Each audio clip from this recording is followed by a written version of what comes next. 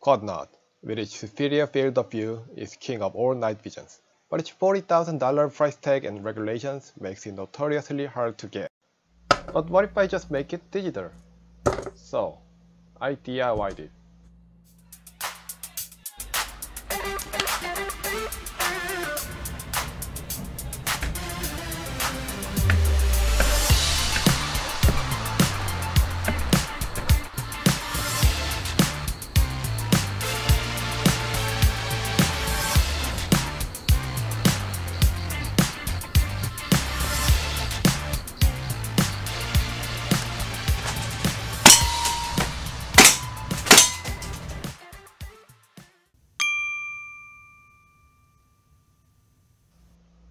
These are my DIY Quad Nod Night Vision Goggle DPNVGs.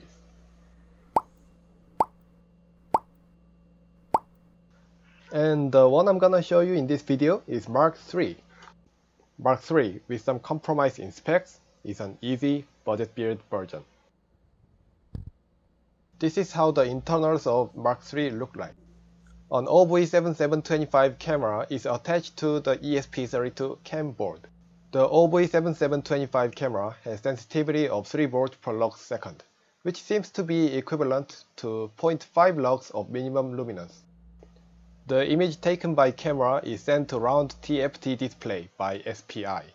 And because there weren't any displays that are equally small, easy to use, but faster at the same time, frame rate of Mark III is limited to 30 FPS.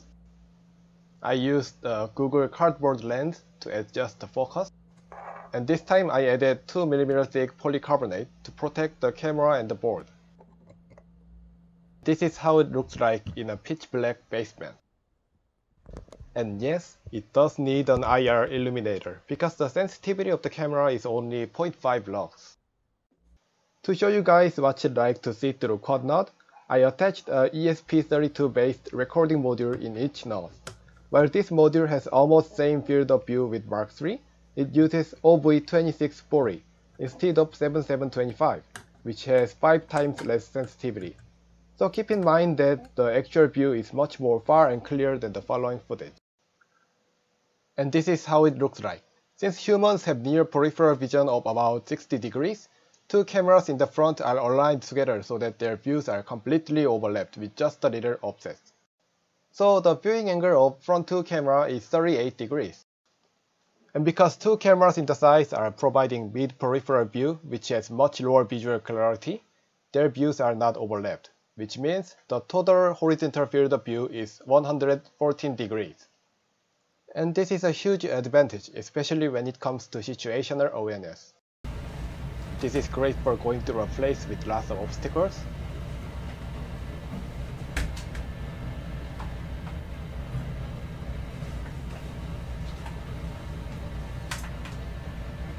Or shooting multiple targets.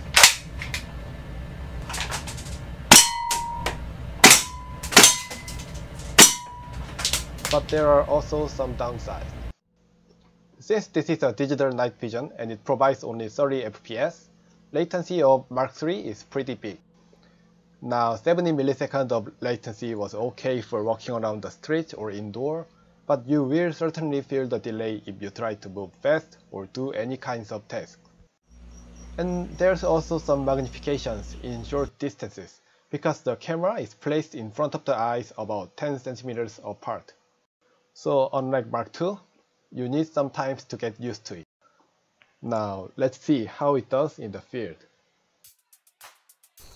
And sorry for the desync in this footage, since it was caused by a recording module. I wasn't aware of it until I got home and checked the result. Hmm. It's pitch black out here. I think I can see up to like 10 meters or maybe 50 meters. It feels like it's about 30 to 45 degrees. Yeah, 30 FPS is not enough for hiking.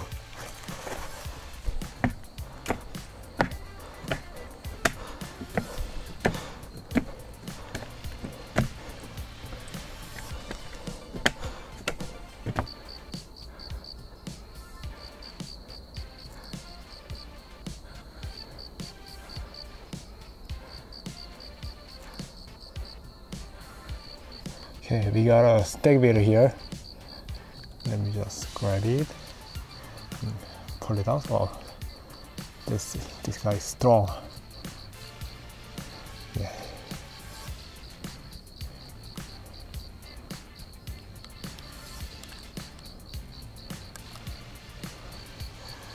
Oh.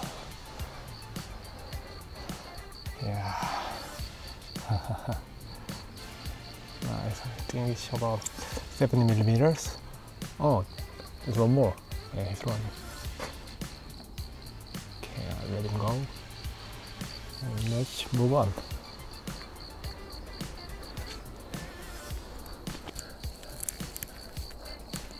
I'm wearing this for like an hour and a half right now and it feels okay. Yeah, I don't actually feel any kind of pain at all. Well, of course, this is just a plastic.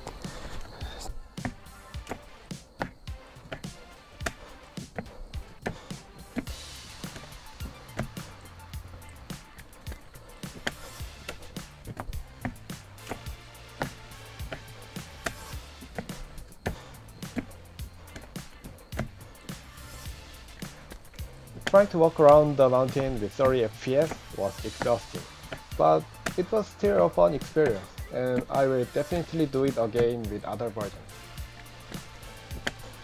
So, conclusions. It's relatively cheap. You have great situational awareness. With IR illuminator, you have decent view for up to like 10 meters, but not so much without it. You will feel some magnifications in short range, and you may notice some delay. If you are curious about how to make this thing, check out part 2, which will show you the whole process of it and will be uploaded in a day or two.